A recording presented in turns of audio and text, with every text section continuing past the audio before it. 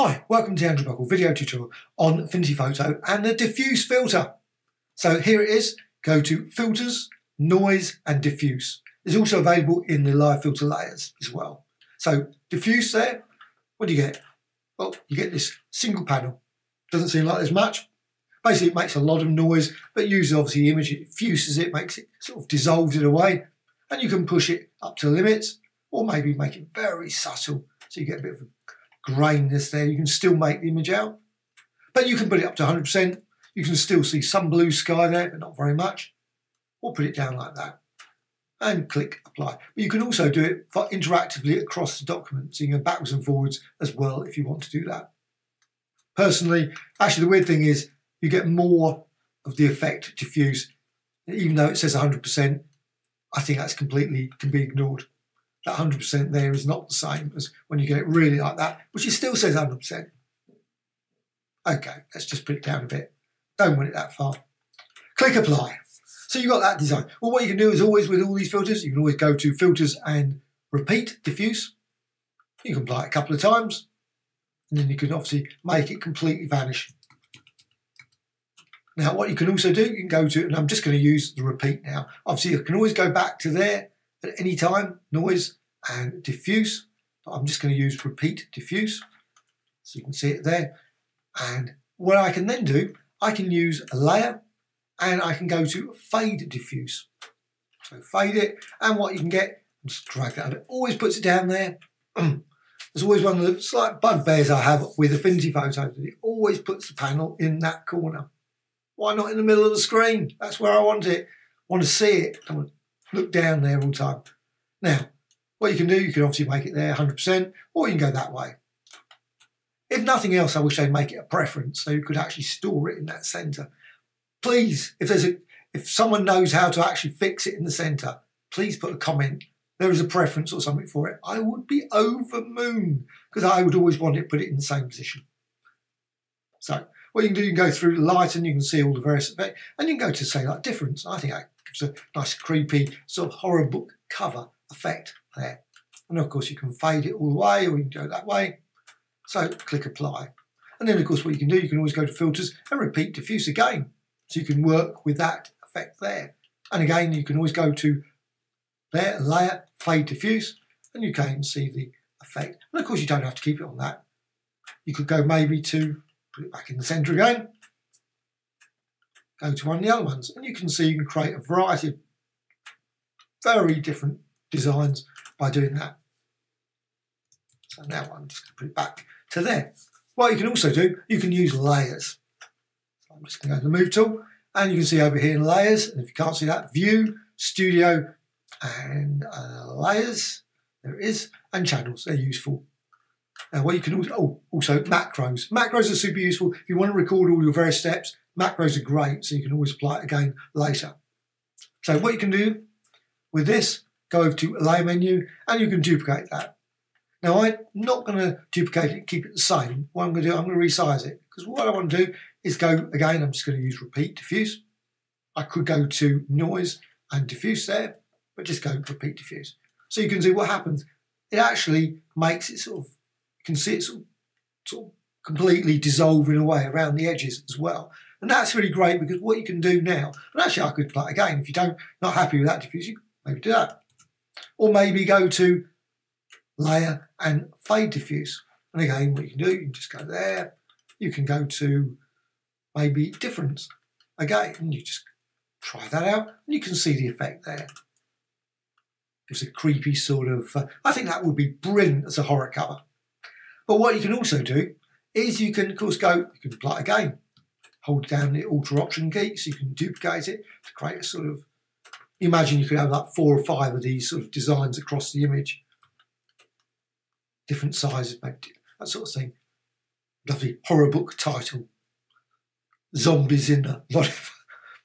Those sort of things. However, obviously I've watched too many zombie movies. Now, what you can also do, you can use other filters. So filters, and distort and deform. My favourite menu, distort. I love the features in here, especially mirror, but deform is also pretty good. And you can add some pins to this. And you can distort it in all kinds of different ways. You can see what you can do. You can break it apart, make it fold over there, get some nice distortions, get distortion there. Now, one thing unfortunately with this is try and avoid the edge. Easier said than done. But if you do get the edge, you can see what you can get. You can get a whole a bit of work and practice. You can get all kinds of different designs. Now, because see, oh, actually this one wasn't too bad. Sometimes you do this and you suddenly get find it's cut off, and you think, oh. Anyway, what you can also do, of course, you can hold down the Alt Option key and you can duplicate it, design, and you can see you can create a very abstract, diffuse design with the deformed foot. That really does look pretty uh, horrific. I think that looks quite something that would be straight out of a H.P. Lovecraft sort of weird tales book. Anyway, what you can also do, of course, is you can always use diffuse again on that. So you can always go to filters and noise, and you can go to diffuse. You can see then it really, really sort of completely, utterly. However, click apply, and then resize it, you can move that around, and then you can also go to filters and distort and deform again. Add some additional pins, drag that. You can see how you can really sort of drag the whole thing like that. And you can see they're great for clouds or very unusual shapes, just pull in the sun, those sort of things. Also, what you of course can do, you can resize that. I'm just going to resize that. You can apply other filters as well. So filters, distort, and mirror. And I love this one. You can create sort of lovely mirror effects and see that design there. load of different designs that way. Click apply and so on and so on. Okay, let's get back to diffuse because now it's decided to do the mirror effect for something. Just going to go back all the way back through those, back to the original image. Now, back to the image and diffuse again. What you can do, you can use it with channels. Channels are really great as well. So you go to channels, again, view, and oops, I went a bit wrong, went slow down then. View, studio, and channels. You've got channels there. Just select the red. So select the red channel, and then of course you can go to filters and you can apply the filters there if it's available for some weird reason. Oh, select layer. There, channels, composite red. Now filters, distort, so noise, that's what I want, diffuse. You can see it there. You've got the effect there, intensity, and you can modify that intensity. Then, of course, sometimes it's a bit disturbing when your system suddenly you're working away and then suddenly you can see it just slow down and suddenly thinking, what's it doing? I just noticed it then. I was thinking, very strange. And I said, my mind's going off thinking, that's very odd. Why is it dragging? It's just suddenly doing. Anyway, this is the green channel. Then what you can do, filters, and again, noise and diffuse. And of course, you can set it something else. And of course, you can apply other effects as well. So if you want to go to filters and maybe blur, let's go for Gaussian blur. Just blur that noise. So you get some really nice chunky grain there as well. That's another great feature of the diffuse noise, noise, not news. You got that lovely grain there, click apply. And again, it's still quite slow. It's not a very big document, very strange. However, you got over here and you can reset it. And you can see when you reset it, you can see the effect here where you've got this sort of red, purple, you've got the green, very unusual. And also at the same time, you can still use good old layer and fade. Unfortunately, because I've used the uh, Gaussian blur, now it allows that one. But you can again see by difference, you can try out different options there. Use add, vivid light, and create some very unusual, again, diffuse noise with the blur as well. Click apply. Okay, let's set it back to, now this is where I often go wrong, don't set it, reset it. So make certain you set it back. If you don't set it back, you will be working away and you'll be thinking, that's strange. It's uh, the red channel is active. Doesn't warn you or anything. So, so you go over here, you got this. What you can also do, you can use selections as well. So if you want to, you go over here, there's a whole load of selections, obviously rectangle, elliptical. I'm just going to go with rectangle. I'm not going to go, you could use freehand. So you create a quick selection. You can also, of course, use the select menu and there's color range, tonal range, create selections for that. But you can, what you do, diffuse for that. So filters and noise and diffuse. and you can see it applied there. And again, you can vary that. So maybe create a very subtle, so you can just about make it out. Click apply, then what you can do, select and then invert the pixel selection. So it just converts it so you get this area. Now what you can do, you can always go to filters again and noise and diffuse. And then this time you can really push it up there. So you get a very different effect one side there. And of course you can use feathering and all those sort of things as well. Or maybe change the position of the selection as well. That's another option. Now also what you can do, you can use shapes. So I'm just going to quickly shape one of shapes. Um, doesn't particularly matter. I'm just going to go with donut tool. Just one. So donut tool. Once you've got that, what you can do, you can go to filters and noise and diffuse. And then you can see it completely evaporates it. Just that's about 67%. But you can set it, say, like to there. Now that turns it into a pixel layer, so you can't do anything with it after that. So if you want to manipulate it, so you just got it here, and you think, you know what, I don't want that colour. Let's go for red instead, and maybe you know, maybe a stroke or whatever. What you can then do, of course, then you can go to filters, and again, unfortunately, repeat is lost at that point. But noise, diffuse, and you can see you end up with that. So just keep it about there, so you can just about make that. Click apply. And of course, you can also still use fade if you want to use that, fade and diffuse. You can see more or less. Maybe run through those difference, exclusion, and so on. So on. You can see a whole range of different options there, but let's go with that. Oops. Right, what I want is that. What you can also do, of course, is hold down the Alt Option key and you can duplicate design. Go to the Move tool and just simply drag there so you can create a lovely sort of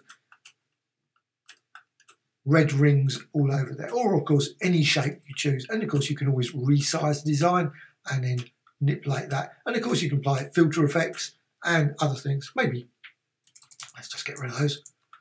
You've got that. You can also use, of course, deform on that. So filters and distort and deform. So again, you can just quickly go make a ring all the way around. I always love to uh, just do this and then just sort of try out different things and you can just sort of drag off little bits of it. So you always just, if you want the thing to be solid and stuck, but still pull bits off, you always just pin the whole thing. Put hundreds of pins. Don't know how many pins you can put, maybe 20 or 30. Just put it all the way around. And you can see because of the diffuse noise, you get this lovely sort of grain going off there. And again, you've got these blobs coming off. You can have a blob there, another blob there, blob, now, of course, you could have, I could have made the shape out of a gradient or maybe a pattern design or include an image or something. So you could get, you could get a real nice sort of design there. You can see you've created a sort of nice, and then of course what you can do, hold down the Alt Option key again, and you can sort of drag that across create a nice blobby, noisy effect like that. Right.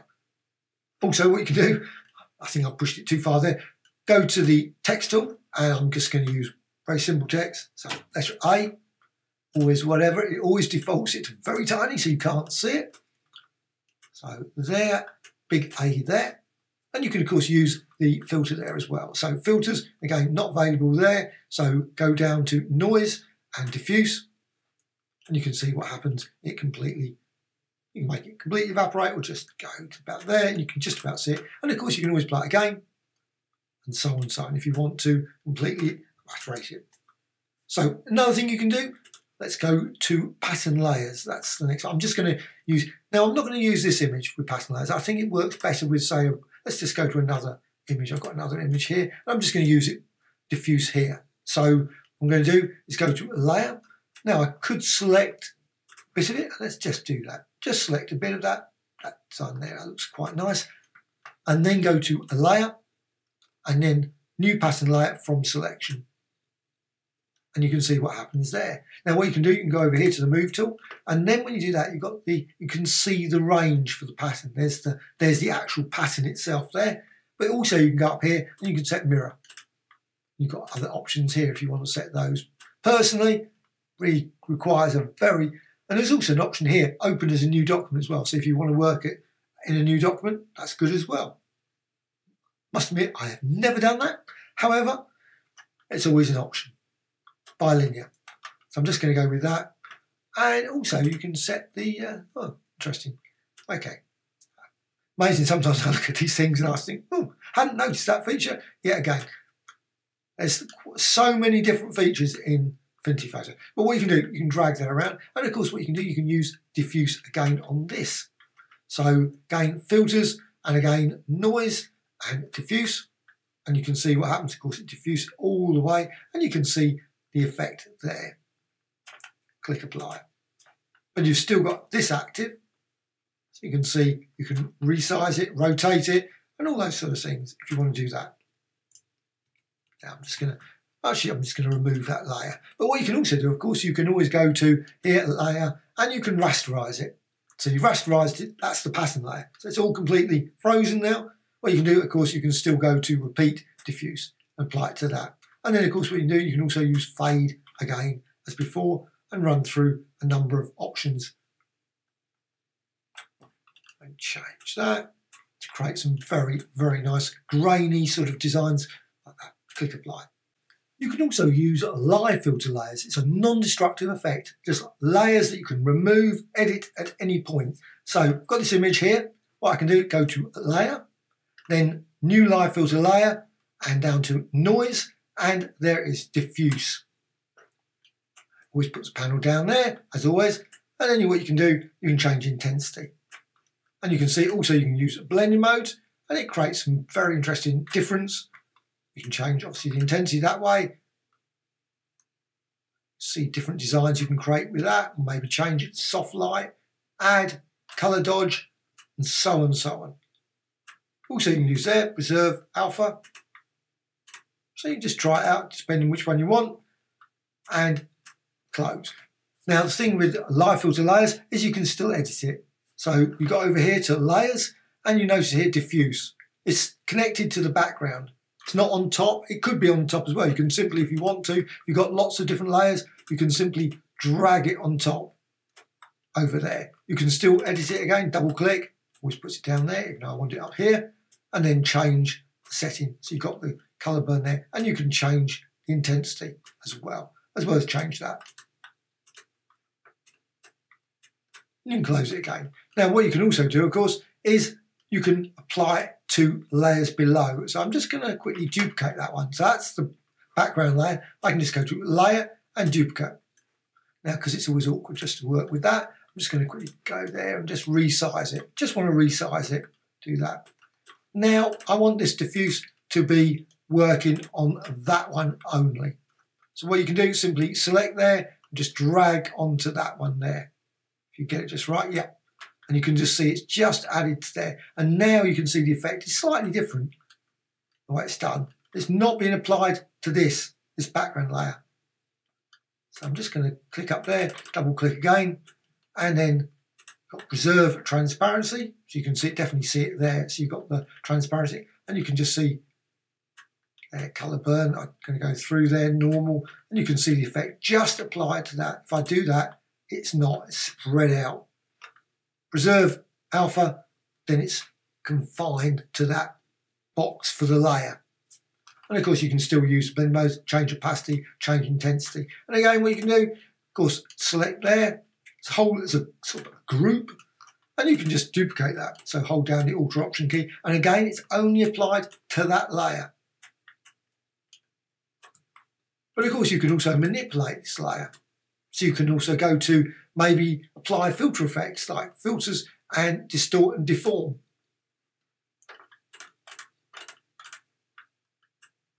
You can see you can distort that layer and create, but you've still got the live, still the live effect, even though the deform obviously is a pixel effect.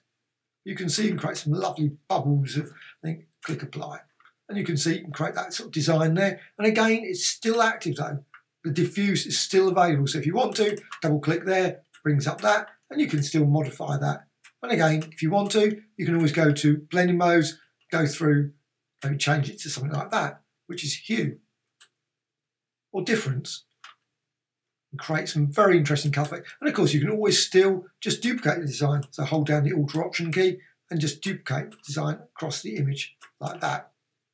And again, all still live, other than obviously the deform. The deform was a filter effect that you can't now go back unless you just remove the effects. But you can also add multiple layers. And also, of course, you've got blending modes. you can always go up here and then you can go through and set that difference as well. You can see the effect there, that's difference. And then hold down that to create some. And of course, you can always apply other filters as well. So filters, maybe uh, Gaussian blur, a nice blurry effect on that. Click apply and hold down it and so on. You can see what you can do. You can create a whole load of combinations, things. Now, not all the effects are live, but still the diffuse is. Still, diffuse is still available there. You can double click and you can change it. So if you decide, you know what, I want a different effect, I can change that and I can go through it. You can see it just changed there. Maybe go for divide. And then you still can see as you move that around,